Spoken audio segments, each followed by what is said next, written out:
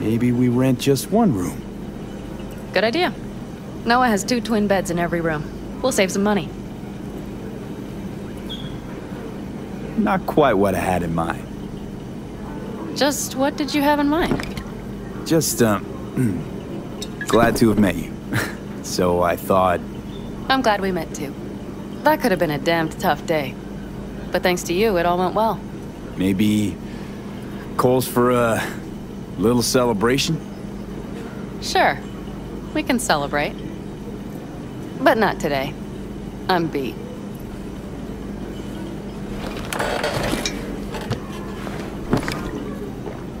Noah will need a room. Twin beds. Just for tonight. I'll go catch a few wings.